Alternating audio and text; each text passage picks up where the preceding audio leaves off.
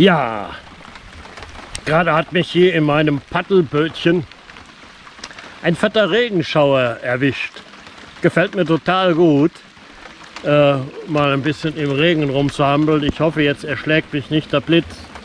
Die Wahrscheinlichkeit vom Blitz getroffen zu werden soll viermal höher sein, wie von Corona erwischt zu werden.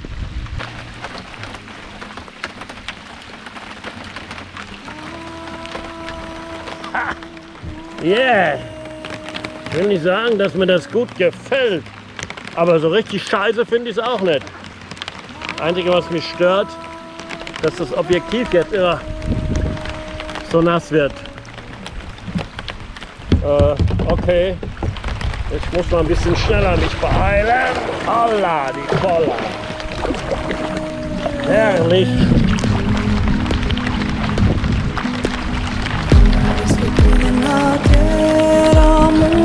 Yeah!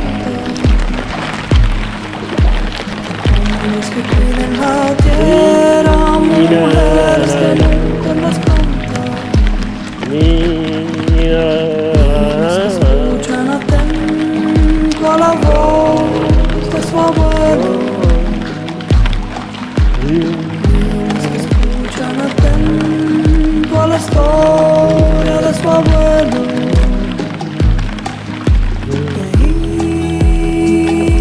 my restless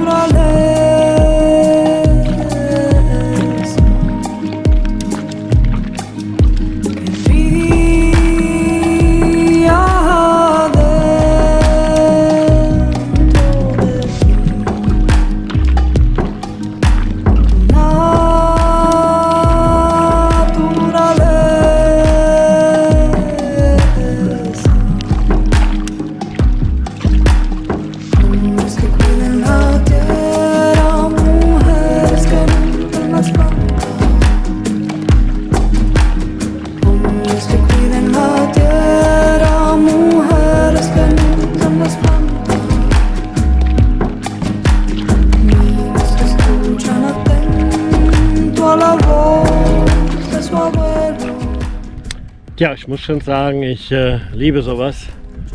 Ungewöhnliche Wettersituationen, überhaupt ungewöhnliche Lebenssituationen. Und jetzt hier heute Abend an diesem Samstag hier noch in den Abendstunden in einen fetten Regenschauer zu geraten, das nervt mich kein bisschen. Das macht mir eher Spaß. Und gleich werde ich mich aus den nassen Klamotten schälen, mir einen schönen, geilen Cappuccino kochen und äh, mich freuen, dass äh, dieser Tag diesen coolen Ausklang hat. Hallo und einen wunderschönen guten Morgen. Heute regnet es zwar, aber ich kann wieder zu meinem morgendlichen Rundgang um mein Wohnwagencamp starten. Denn von Tag zu Tag äh, läuft es besser mit meinen Hüften, mit meiner neu eingebauten Hüfte. Und äh, das äh, gefällt mir. Das heißt, ich habe zwar immer noch Schmerzen und äh, der Heilungsprozess dauert wohl etwas länger nach 40 Jahren Coxarthrose wie bei anderen Menschen. Aber damit war zu rechnen. Und jetzt bin ich doch froh, dass die Prognose der mich behandelnden Ärzte stimmt. Sie haben gesagt, sie brauchen Geduld und dann wird alles gut. Ja, gut ist es heute. Wunderbar, es regnet. Ähm, In wenigen Tagen ist äh, Sommersonnenwende und eigentlich wollte ich diesen diesen äh, Kulttag, die Sommersonnenwende wieder im hohen Norden verbringen, nämlich innerhalb des Polarkreises, in dem an diesem Tag die Sonne nicht hinter dem Horizont verschwindet und je weiter man dann nach Norden kommt, äh, passiert das sogar mehrere Tage nicht. Auf den Lofoten, wo wir 2018 die Sommersonnenwende verbracht haben, meine Tochter Samira und ich, geht äh, die Sonne sechs Wochen lang nicht unter den Horizont und gar oben in Hamningenberg am Ende aller Straßen äh, sogar über zwei Monate nicht. Also Licht ist immer schon etwas gewesen, was die Nordmenschen besonders fasziniert und deswegen werden Sommersonnenwenden, Lichtfeste im hohen Norden besonders gerne und besonders intensiv gefeiert. Und es war mir immer ein Vergnügen in, den, ja, in der Vergangenheit, mich zur Sommersonnenwende in Skandinavien zu befinden. Dieses Jahr könnte es möglicherweise nicht mehr klappen und wenn, dann erst im August. Und ich bin gespannt, ob bis dahin die Reisesituation sich so entspannt hat, dass man auch aus Skandinavien wieder ohne Quarantäne zurück nach Deutschland kommt. Sollte es weiterhin so bleiben wie aktuell, dass man in Quarantäne muss, wenn man aus Schweden zurückkommt, dann lassen wir die Reise in den hohen Norden dieses Jahr sein und gehen stattdessen äh, im August, September zum Strand segeln nach Dänemark an die weitläufigen dänischen Strände und im Oktober wieder in die Cevennen in den Süden Frankreichs. Und jetzt muss ich hier im hohen Westerwald Regen genießen. Früher habe ich über Regen geflucht, aber seitdem auch über Deutschland und auch über den hohen Westerwald eine gewaltige Trockenheit hereingebrochen ist, wie man hier hinter mir an den Thuja-Hecken sieht, die letztes Jahr allesamt vertrocknet sind und braun geworden sind, äh, kann man sehen, auch im hohen Westerwald ist es verflucht nochmal zu trocken. Und ich freue mich über jeden Regentropfen, der mir gerade auf die Birne fällt. Und von mir aus kann es jetzt einige Tage lang schön, ordentlich und viel regnen.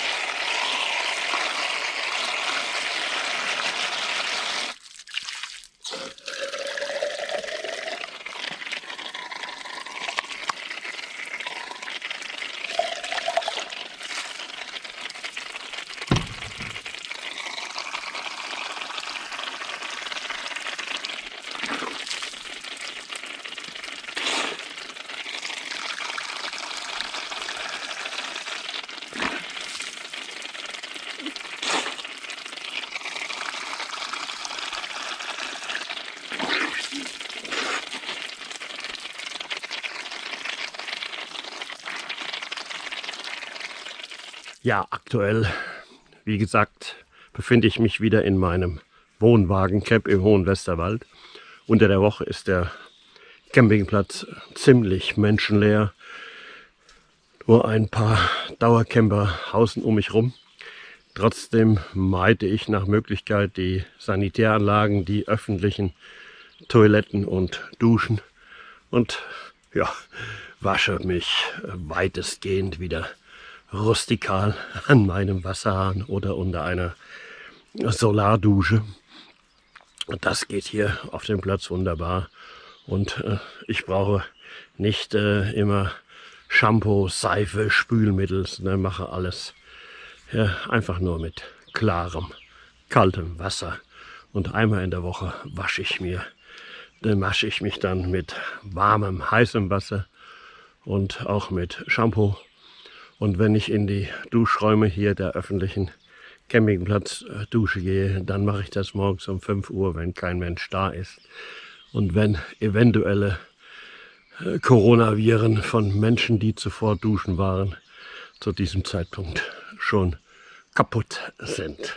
Also, ich bin noch nicht kaputt, auch wenn ich ja heute Morgen wieder so aussehe. Aber ich freue mich auf den Tag. Heute Morgen kommt meine Tochter Samira wieder äh, hier hoch in den Hohen Westerwald. Sie war jetzt ein paar Tage unterwegs im magischen Dreieck Büdingen, Gießen, Westerwald. Und dann werden wir heute diesen Regentag wieder schön genießen.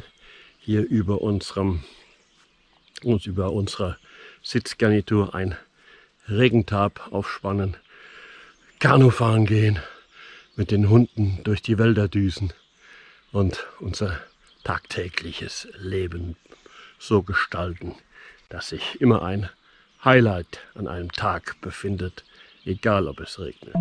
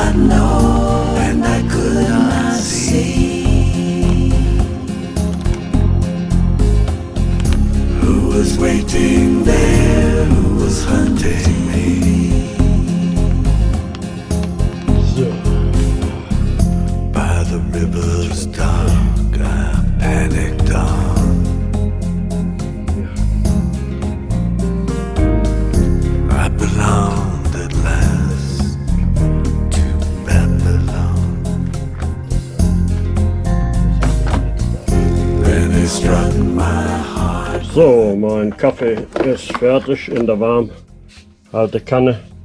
Und jetzt werde ich mir erstmal ein kleines Tässchen reinschütten und noch den Morgen genießen in meinem Pennerlager.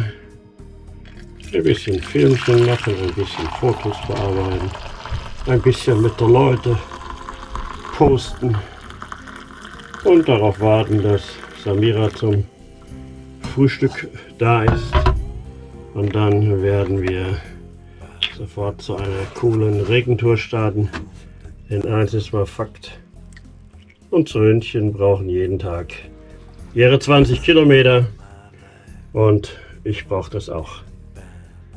Ja, ich muss sagen, ich äh, bin ja ein schlechter Schläfer. Meine Nachtstunden sind immer zerhackt und zerstückelt in kleine Häppchen.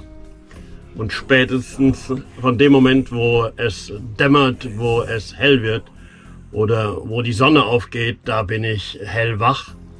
Sitze aber noch gerne hier in meinem Pennerlager auf meinem Bett, schaue durch das Wohnwagenfenster raus, Ah, freue mich über einen wunderschönen Kaffee, denn eins bin ich nun mal kaffeesüchtig schon ziemlich. Und meine Kaffeesucht wurde die letzten Wochen äh, ziemlich gebremst. Das war vielleicht auch ganz gut so, denn im Krankenhaus und auch in der Klinik gab es zwar Kaffee, aber der war nicht so mein Ding, denn ich brauche in meinem Kaffee auch immer ein bisschen Koffein. Nicht unbedingt als Speedy, aber so als Kribbeln, als, äh, ja doch, Speedy. Ja, und wie man sieht, beginnt mich allmählich etwas zu nerven. Das sind nämlich meine Haare. Ich liebe zwar schon seit meiner Jugend lange Haare und hatte sie selbst in meiner Armeezeit nie wirklich kurz. Aber dann kommen immer so Tage wie heute, dann könnte ich die Schere nehmen und könnte sie abzocken.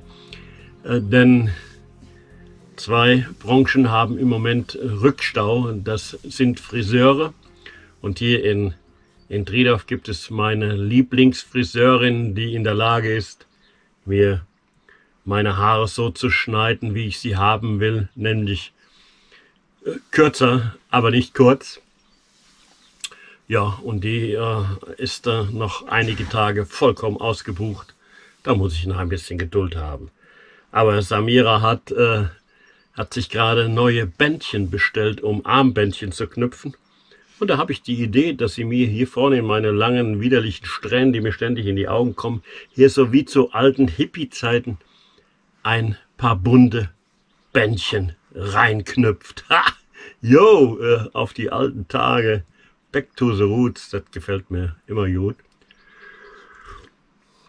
Was mir nicht so gut gefällt, auch alle Fahrradshops, alle Fahrradwerkstätten sind ausgebucht bis Nimmerleinstag. Der, das äh, Fahrradgeschäft boomt unglaublich, nachdem es drei Monate da niederlag. Äh, jetzt sind viele Leute auf Fahrräder umgestiegen. Alte Fahrräder müssen wieder instand gesetzt werden. Leider sind die Öldruckleitungen an Samiras Mountainbike undicht. Äh, und das kann ich nicht äh, selber mal eben flicken. Das ist immer wieder blöd, dass man heute mit den modernen Fahrrädern auch auf Werkstätten angewiesen ist. Ja, und erst recht die E-Bikes, die ich überhaupt nicht mehr als Fahrräder bezeichnen möchte, denn mit dem ursprünglichen früheren Fahrradfahren hat ein E-Bike Radeln nicht mehr viel gemein. E-Bike fahren ist Moped fahren mit dezenter, sehr dezenter Beinunterstützung. Und das auch nur, damit der Motor läuft. Okay, und äh, jetzt freue ich mich auf einen wunderschönen, egal, auch verregneten Frühsommertag im hohen Westerwald.